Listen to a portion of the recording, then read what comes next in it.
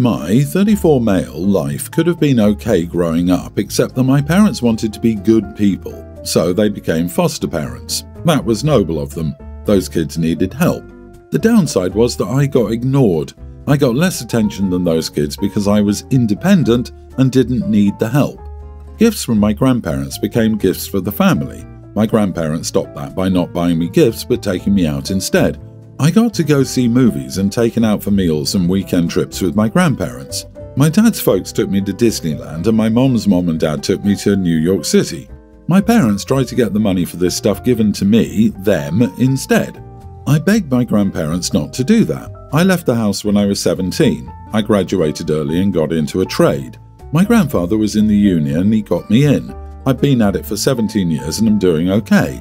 My parents are not. They ran themselves ragged taking in all those kids. Even the money they got wasn't enough to make up for their sacrifices. They asked me for help and I said no. If I give them money, I know they'll just waste it on the kids they took in after I left. I told them they had a plethora of foster kids that they could ask for money. My mom said she was disappointed in me and thought she'd raise me better. I said I raised myself from about 8 years old onward. My grandparents had tapped out too. My parents already owe them a lot of money. My wife says she understands how I feel but thinks I'm being mean. My mom thinks I've held a grudge since childhood. I refuse to speak with my father, but I assume he's still giving my old things to the new kids. They're welcome to spend all their time and money on anything they want. My money is for my family. Am I the idiot for telling my parents to ask their foster children to help instead of me? Not the idiot. Your parents ignored you and tried to take money from you. You're not holding a grudge from childhood. You're simply recognizing a pattern that they never made you a priority. They were irresponsible in their financial planning by taking in so many kids. That's not your problem. Tell your wife I do not think you're being mean. You don't want to be taken advantage of. You're not holding a grudge from childhood. Yes, he is. OP resents his parents for abandoning him. That's a grudge. Slightly, you are the idiot. You, of course, are not at all obligated to give them money, and I would not if I were you. But saying they would waste it on their current foster children is idiotish, in my opinion.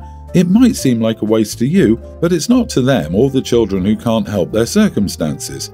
Never loan money that you can't afford to completely forfeit. It isn't OP's job to support them and their kindness.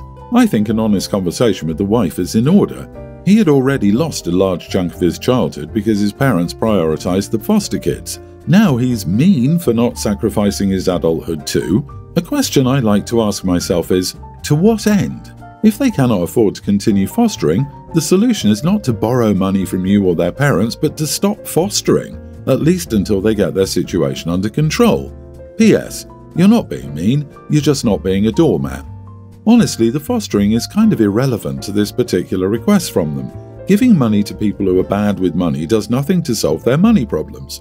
They will still be crap with their money and will just come back asking for more, as evidenced by how they treated your grandparents and drained their coffers. A quick cash fix will solve zero problems for your parents if they're going to be responsible with it anyway.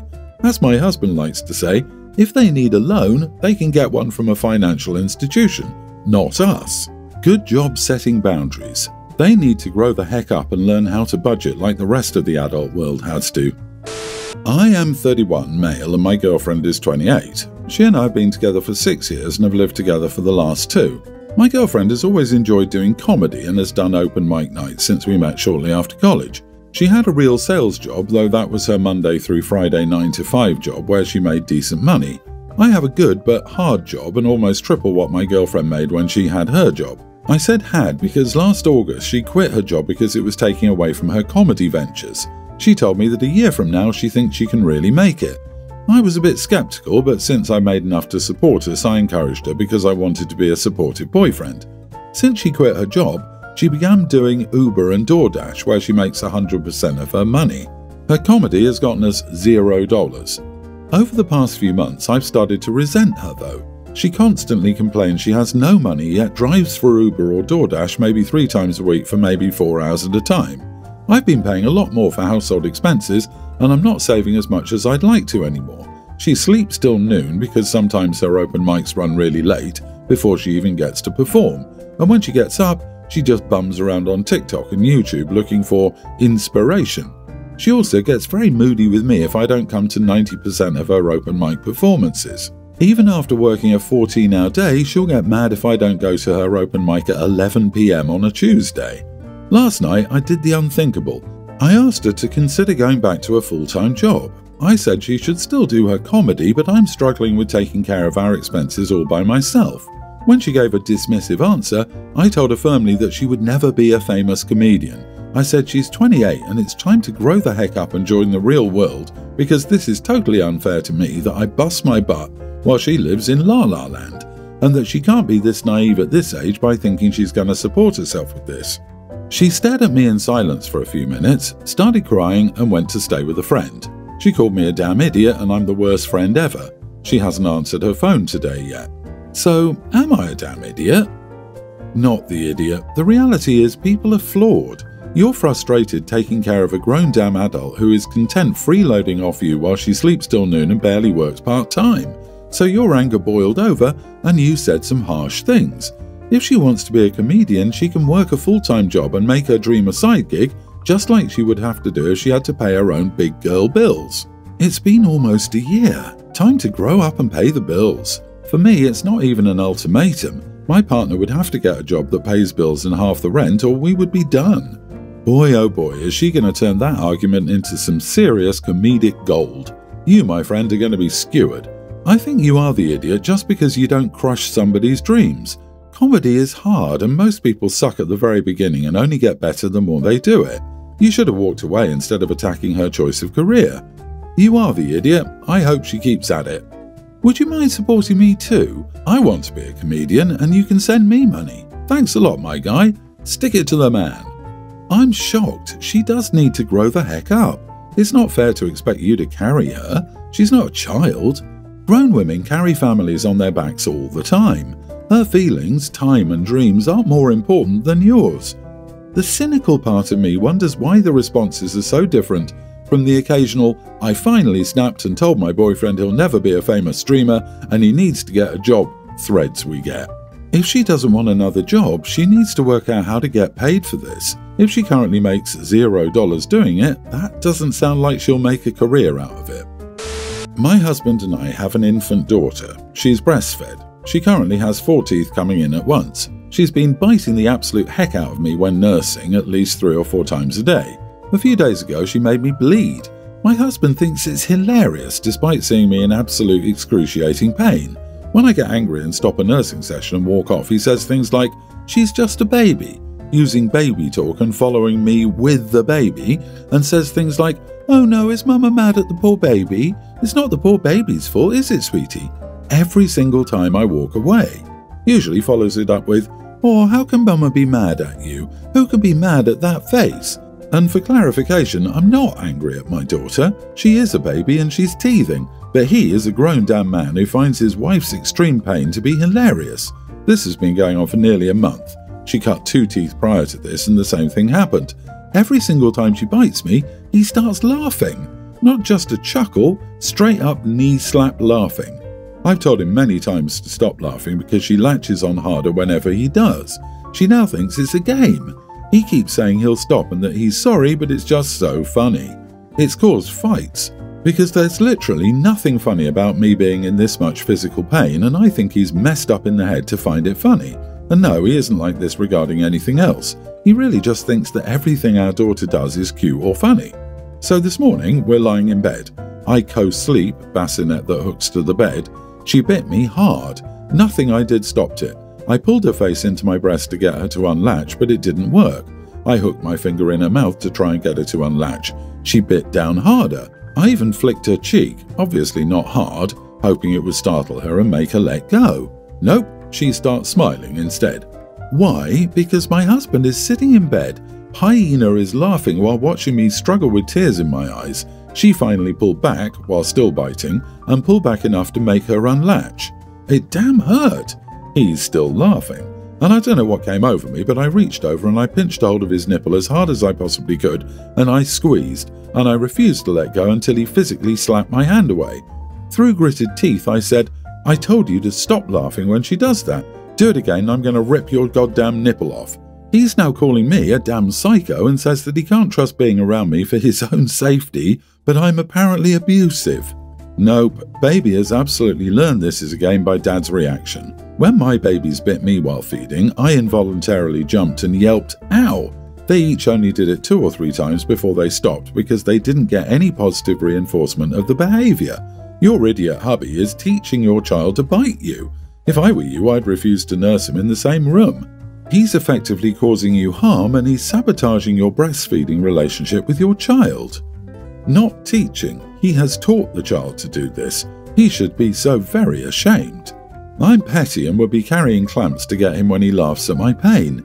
Screw him, to be honest. That's real idiot behaviour. My firstborn had a deep latch and it made breastfeeding excruciating. Period. My husband never laughed. He'd rub my back, bring me a drink, take the baby, or do anything to help me. This is divorceable to me. How someone treats you while you're pregnant and in the postpartum period is telling and worthy of reaction. My wife, 34, and I, 34 male, have been married for eight years and we have a kindergarten age son. Over the past few months, my wife and I have occasionally been having arguments on finances. The main argument we've been having is that I want to take our family out on a vacation to a different state, but my wife wants to save up so we can travel abroad next year. Last month, my wife and I were arguing again about this, and I was telling her a vacation would be really good for our family and son. We talked back and forth, and I could sense my wife was getting exasperated, but I stood my ground. I told her we could take a vacation now, and we could also go abroad next year, and my wife just lost her cool and said that the finances made that impractical and that she also wished I was better in bed. But in life, we don't always get what we want. That stung me. I'm aware I'm average, but I've never had any complaints from anybody about it until now, and hearing it from my wife just numbed me. I then checked out the conversation, and my wife instantly apologised after she said that. I told her it was okay, and then I went to sleep. However, from the next day on, I distanced myself from my wife and focused on work and my son. My wife tried to initiate conversation and apologise multiple times, and I usually ignored her or told her to let it go. I also started eating out as I didn't want to eat my wife's dinner. My wife initiated intimacy one night and I told her to get off me. My birthday was a few days ago and I ignored my wife when she wished me or when she tried to kiss me. We didn't do anything for my birthday, and when my wife gave me a gift that was packaged with also a handwritten letter, I told her to return it. I have no idea what the gift was or what was written in the letter, and I don't really care. I'm at my limit now, and I know this isn't healthy or sustainable, so I've seriously started considering divorce. But I also wanted to get an opinion from the people I trusted most in the world, my two siblings. My brother thinks I should at least consider marriage counselling first before proceeding with divorce, as he doesn't think this is worth jumping straight to divorce for. My sister has the opposite opinion, and she thinks I'm still young and fit and have a long life ahead of me, and it should be very easy for me to get someone who's much more beautiful than my wife, both on the exterior and the interior. Am I the idiot for checking out of my relationship and considering divorce? Dude, the comment itself is an idiot move, but in my opinion, the bigger problem is that she said it in anger, which means she intended it as a weapon to hurt you. Anyone who would do that isn't someone you can feel safe being vulnerable around. If you want to try to stay, then marriage counselling is mandatory, as is individual counselling for her to figure out why her mind even went there in the first place. Any refusal from her on that should be an immediate game over. That said, nothing in your post indicates that you do want to stay, just that you think maybe you should. If you don't really want to stay with her, don't. Thank you for pointing this out. Words can't be taken back once said out loud. People always need to remember that, even in the most heated argument. Also, you don't say things you never thought about before. They don't really pop up out of nowhere in a completely unrelated fight. The tree remembers what the axe forgets. Am I taking crazy pills? You all think someone saying something hurtful in anger once is worth getting divorced over? You all have some of the most fragile egos I've ever seen. It was an ugly thing to do. She was angry and she went straight for the jugular. If that's all that happened, I feel bad for the guy, but then instead of telling his wife how he feels about it, he shuts down completely and pouts about it for days. What a baby. I'm sorry that your wife hurt your feelings one time. That sucks, but it's not worth dissolving your relationship over. Use your words like a big boy and tell her how you feel. Jeez. My brother and I share a car. It's not all his fault, but the car isn't clean in the slightest, more by him than me. It isn't that disgusting, but the seats are old and sort of stained, and we have our backpacks and schoolwork scattered in the back. One of our chores is taking our stepsister to softball practice. Usually my brother does it because I'm at practice for my sports when hers start, but I had an off day while my brother was taking a nap, so I had to take her. My stepdad said I could take his car if I wanted to, but I wanted to drive mine. When I pulled it up, my stepsister refused to get in because it was so dirty.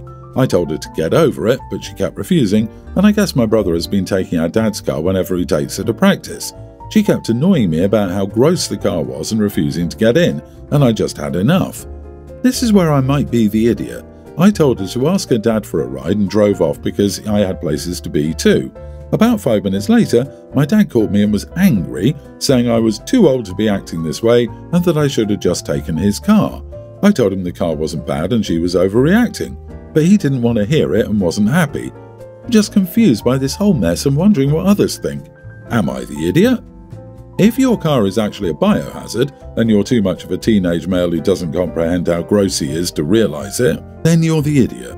If your stepsister is just a pretentious teenage girl who thinks she deserves to be driven around in style and doesn't want to be seen in an embarrassing but otherwise acceptable car, then you're not the idiot. We need info to decide. How old is your stepsister? Can you describe the state of the car? Did it smell bad or could it have stained her clothes? She's a young teen just entering high school, and the car isn't that clean, but nothing that would stain clothes and a little smell, but the windows were going to stay down. My brother refuses to clean it at all and thinks it's not bad in the slightest. I'm not deep cleaning a car, that's more his fault by myself.